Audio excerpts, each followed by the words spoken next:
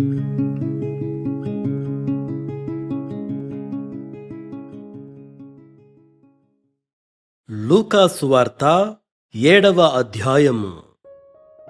ఆయన తన మాటలన్నీయు ప్రజలకు సంపూర్తిగా వినిపించిన తరువాత కపెర్నహోములోనికి వచ్చెను. ఒక శతాధిపతికి ప్రియుడైన దాసుడొకడు రోగి అయి చావ సిద్ధమయ్యుండెను. శతాధిపతి యేసును గూర్చి విని ఆయన వచ్చి తన దాసుని స్వస్థపరచవలనని ఆయనను వేడుకొనుటకు యూదుల పెద్దలను ఆయన యొద్దకు పంపెను. వారు యేసునొద్దకు వచ్చి నీ వలన ఈ మేలు పొందుటకు అతడు యోగ్యుడు. అతడు మన జనులను ప్రేమించి మనకు సమాజమందరము తానే కట్టించెనని ఆయనతో చెప్పి మిక్కిలి బతిమాలు కొనిరే. కావున యేసు వారితో కూడా వెళ్ళెను. ఆయన ఆ ఇంటి దగ్గరకు వచ్చినప్పుడు శతాధిపతి తన స్నేహితులను చూచి మీరాయన యొద్దకు వెళ్ళి ప్రభువా శ్రమ పుచ్చుకొనవద్దు. నీవు నా ఇంటిలోనికి వచ్చుటకు నేను పాత్రుడను కాను. అందుచేత నీ యొద్దకు వచ్చుటకు పాత్రుడనని నేను ఎంచుకొనలేదు. అయితే మాట మాత్రము సెలవిమ్ము.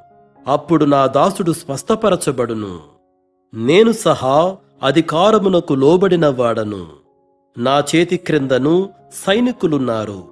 నేనొకని పొమ్మంటే పోవును ఒకని రమ్మంటే వచ్చును. నా దాసుని చేయుమంటే ఇది చేయునని నేను చెప్పినట్టు ఆయనతో చెప్పుడని వారిని పంపెను. నా దాసుని చేయుమంటే ఇది చేయునని నేను చెప్పినట్టు ఆయనతో చెప్పుడని వారిని పంపెను. యేసు ఈ మాటలు విని అతని గూర్చి ఆశ్చర్యపడి తన వెంట వచ్చుచున్న జనసమూహము వైపు తిరిగి ఇజ్రాయేలులోనైనను ఇంత గొప్ప విశ్వాసము నేను చూడలేదని మీతో చెప్పుచున్నానెను పంపబడిన వారు ఇంటికి తిరిగి వచ్చి ఆ దాసుడు స్వస్థుడయ్యుండుట కనుగొనిరి. వెంటనే ఆయన నాయీనను ఒక ఊరికి వెళ్ళుచుండగా ఆయన శిష్యులను బహుజన సమూహమును ఆయనతో కూడా వెళ్ళుచుండిరి. ఆయన ఆ ఊరి గవిని యొద్దకు వచ్చినప్పుడు చనిపోయిన యొకడు వెలుపలకి మోసుకుని పోబడుచుండెను. అతని తల్లికి అతడొక్కడే కుమారుడు ఆమె విధవరాలు. ఆ ఊరి జనులు అనేకులు ఆమెతో కూడా ఉండిరి. ప్రభువు ఆమెను చూచి ఆమె ఎందు కనికెరపడి ఏడువవద్దని ఆమెతో చెప్పి దగ్గరకు వచ్చి పాడెను ముట్టగా మోయుచున్నవారు నిలిచిరి. ఆయన చిన్నవాడా లెమ్మని నీతో చెప్పుచున్నాననగా ఆ చనిపోయిన వాడు లేచి కూర్చుండి మాటలాడసాగెను. ఆయన అతనిని అతని తల్లికి అప్పగించెను. అందరూ భయాక్రాంతులై మనలో గొప్ప ప్రవక్త బయలుదేరియున్నాడనియు దేవుడు తన ప్రజలకు దర్శనమనుగ్రహించియున్నాడనియు దేవుని మహిమపరచిరి. ఆయనను గూర్చిన ఈ సమాచారము యూదయయందంతటను చుట్టుపట్ల ప్రదేశమందంతటను వ్యాపించెను. యోహాను శిష్యులు ఈ సంగతులన్నీయు అతనికి తెలియజేసిరి. అంతట యోహాను తన శిష్యులలో ఇద్దరిని పిలిచి రాబోవు వాడవు నీవేనా? మేము మరి ఒకని కొరకు కనిపెట్టవలనా? అని అడుగుటకు వారిని ప్రభువునొద్దకు పంపెను. ఆ మనుష్యులు ఆయన యొద్దకు వచ్చి రాబోవు వాడవు నీవేనా? లేక మరి ఒకని కొరకు మేము కనిపెట్టవలనా?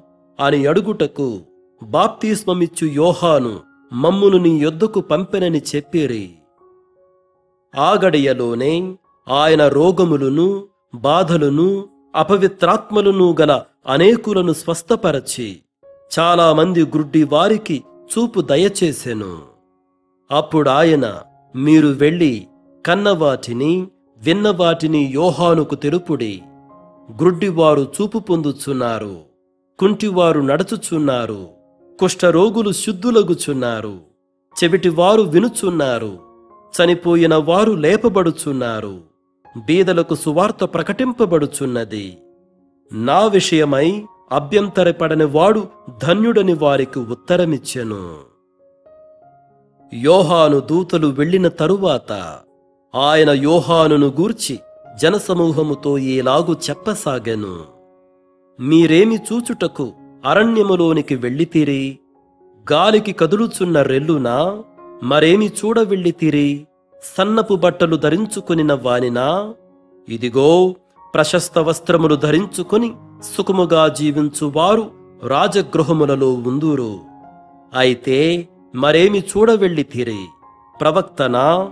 అవునుగాని ప్రవక్త కంటే గొప్పవానినని మీతో చెప్పుచున్నాను. ఇదిగో నేను నా దూతను నీకు ముందుగా పంపుచున్నాను. అతడు నీ ముందర నీ మార్గము సిద్ధపరచును. అని ఎవరిని గూర్చి వ్రాయబడనో అతడే ఈ యోహాను. స్త్రీలు కనిన వారిలో యోహాను కంటే గొప్పవాడెవడునూ లేడు. ఆయనను దేవుని రాజ్యములో అల్పుడైన వాడు అతని కంటే గొప్పవాడని మీతో చెప్పుచున్నాను. ప్రజలందరూ సుంకరులను యోహాను బోధ విని అతడిచ్చిన బాప్తిస్మము పొందిన వారై దేవుడు న్యాయవంతుడని ఒప్పుకొనిరి గాని. పరిసయ్యులను ధర్మశాస్త్రోపదేశకులను అతని చేత బాప్తిస్మము పొందక తమ విషయమైన దేవుని సంకల్పమును నిరాకరించిరి. కాబట్టి ఈ తరము మనుష్యులను నేను దేనితో పోల్చుదును? వారు దేనిని పోలియున్నారు? సంత వీధులలో కూర్చుండియుండి మీకు పిల్లన గ్రోవి ఊదితిమి గాని మీరు నాట్యమాడరైతిరి. ప్రలాపించితిమి గాని మీరేడ్వరైతిరి.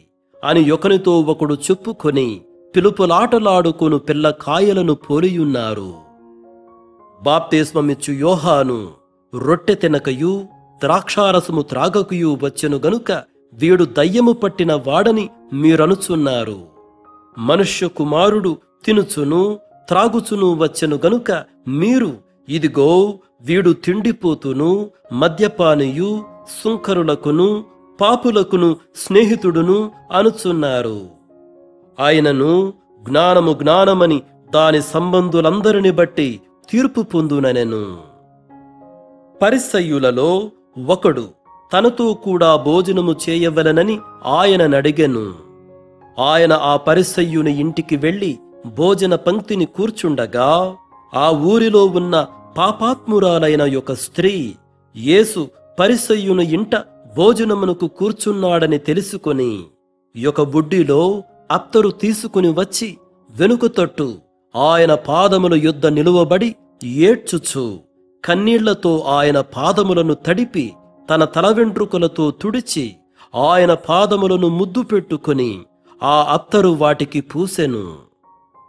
ఆయనను పిలిచిన పరిసయ్యుడు అది చూచి ఈయన ప్రవక్త అయిన ఎడల తన్ను ముట్టుకొనిన ఈ స్త్రీ ఎవతయో ఎటువంటిదో ఎరుగియుండును.